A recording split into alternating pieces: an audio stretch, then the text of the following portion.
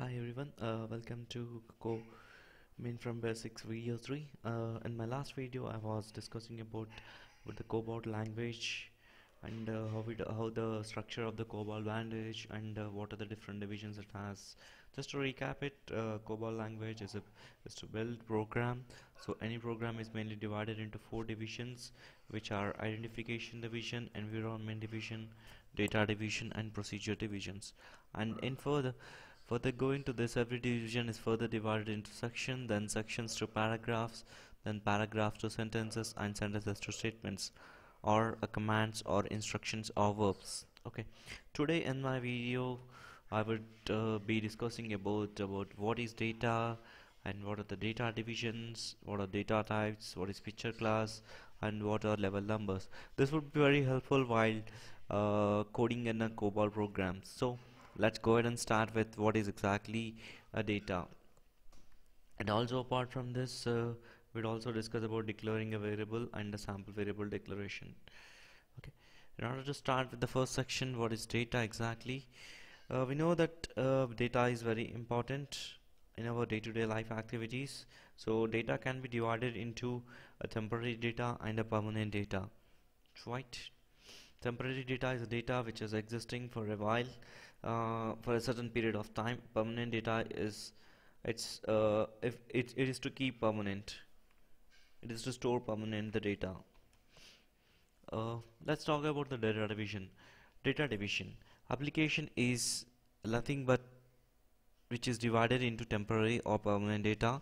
What exactly the permanent data? Data which is available only during programming execution. This is coming into the technical terms permanent data which is available after completion of program right? So talking about uh, data division what uh, data division further divided into? Data division is further divided into file section then working storage section and the linkage section. So let's talk about what is exactly the working storage uh, section. It consists of data names or variables uh, data names or user defined data uh, user defined names must be from the following roles. A uh, should consist of 1 to 30 alphanumeric characters okay? Next should contain at least one alphabet. No embedded spaces that is space between characters. No reserve words like date time add compute multiply subtract and there should be no special characters like dollar hyphen hash these things. So every variable should start with an alphabet followed by any alphanumeric numbers. Okay? That was about working storage section. Note uh, more meaningful names have to be used. When you declare any variable that should be very uh, it should be declared very meaningful. For example should if I'm working with an employee employee database or uh, something else. So in order to declare a variables related to employee organization so first my uh, variable should be like employee number emp number emp name emp designation. See you can you can look at here like it is giving a meaningful. Emp stands for emp yeah, employee number number name. So it's so whenever you declare any variable it should be very meaningful so to discuss more about uh, the next topic is what are the different data types in uh, COBOL? Like in, in, C, C++, Java, .NET or any other programming language. So we have different data types over here. So in the same way for COBOL we have a, a different data types. So the first one is uh, it's a numeric 9 it stands for is a is for numeric data type and uh, and it is used to store numerical values. And it is used to store digits. Okay. What is the next data type? Data type is alphabets. It is for alphabets. It is used to store only an alphabets yes you might be having a question. Can we store both numeric and alphabet? Yes we have an option. We have another variable called alpha numeric which can store it is it is for alphanumeric yes if you want to store any uh, if you want to store uh, sign values positive and negative values yes we have another variable called yes it is for sign. It may be negative or positive right? What are the other variables? In order to accept uh, decimal values yes we have v we use v or p for decimal values these are all the different data types which we use in COBOL program. One is to recap again. 9 it is used for numeric data types and it is used to store only a numeric values. A it is for alphabets. X it is for alphanumeric as it is for sign minus or plus v or p for decimal values. Right? Okay. For example uh, let's for example for declaration of this I can declare if I want to store a 5 bytes of value uh, with only a numeric then I can store it as 9 of 5 9 of 5 or I can give this 1 2 3 4 5 and this way I can declare it. So you might be uh, uh in the, important point here is it can accept the maximum the maximum length of it is 18 bytes. So maximum it can we can enter the value range is 9 of 18 so this is the mine 1 is the minimum and 18 is the maximum. The same way for alphabets for de for declaring an alphabets yes you have to declare in the same way. For say accepting a single character or accepting a five character like you can declare either this one or with a of 5 here the maximum characters it can accept is a of 35535 35535 is range maximum it can accept. So the same way is for alphanumeric. Alphanumeric also it can accept both numeric and non-numeric values. For example x of 5 you can declare it then the, the max is x of 3 3 double 5 3 5 is the maximum. Okay? In the same way to declare the sign negative or positive values you can declare it as 9 of 5 uh, for declaring a v uh, v is uh, used for decimal well lies within the data or outside of the data. Okay? And whereas p is used it uh, if decimal uh, outside of data either before value or after value for example I can give you for V uh, 9 of 3 9 of 3 V 9 of 2 so the output will be like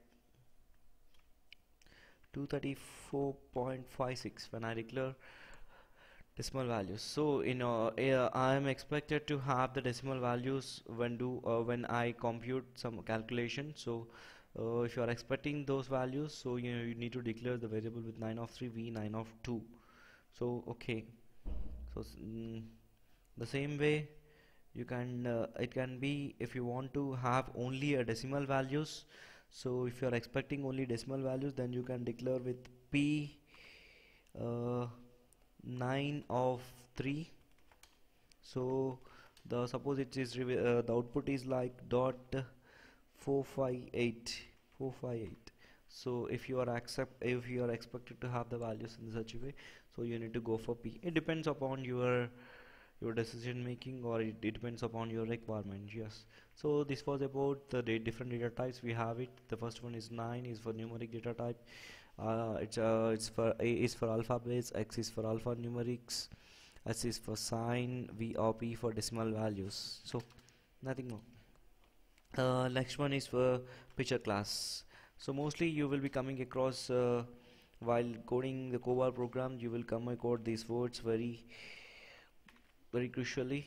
And uh, so to avoid the confusion further let's be clarity upon what is exactly the picture clause. It is uh, it is used to specify data type length of data length for data types. So it is used to specify data type length it is used to specify data length for data names. A, uh, a picture clause should be coded after data name. And before data type comma separated by space what is exactly a picture clause? It is used to specify data type length for data names. A picture clause should be coded for data name before comma before data types and separated by space. For example if I give the example it will be clarified. So my variable name is employee number. So how do we declare the variables in COBOL? So my variable name is employee number what I said it is used to specify data type length for data name. A picture clause should be coded uh, coded after data names. Yes after data name I would be coding picture clause. And before data type right? My data type is uh, 9 of 10 suppose I want to accept uh, the 9 of 10 bytes. So this is the way we declare. And uh, these are separated by spaces. Employee number is separated by space. Picture clause is separated by space.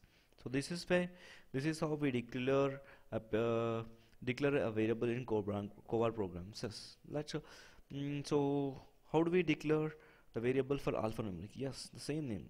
For example for employee number picture clause x of 20 okay. For em is the, the employee number picture clause x of 20 so the same way you can go for employee description picture clause a of 20 yes same way you can declare any other variables and so on. So this was about the picture clause.